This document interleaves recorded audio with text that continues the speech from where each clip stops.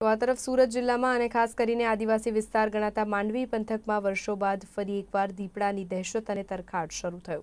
ગતરોજ અરેઠ ગામે એક બાળક પર હુમલાની ઘટનાની શાહી સુકાઈ નથી, ત્યાં માંડવી તાલુકાના જ પાતાલ ગામે બીજી ઘટના બનવા પામી છે.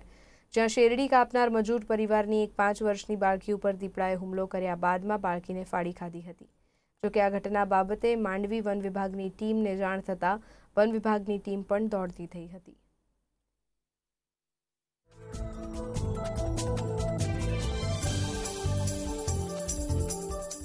માંડવી તાલુકાના પાતલ ગામે આજરોજ સાંજના સાડા છ કલાકે ડાંગ આહવાથી જે મજૂરો શેરડી કાપવા આવે છે, તેઓની એક છોકરી નાનકડી ચાર વર્ષની અંદાજે ઉંમરની શિવાનીબેન જે હતા, તેઓ ત્યાં એમના તંબુની આજુબાજુમાં રમતા હતા. એ સમય દરમિયાન વન્યપ્રાણી દીપડાએ એના પર હુમલો કરી અને ખેંચી ગયેલ હતા.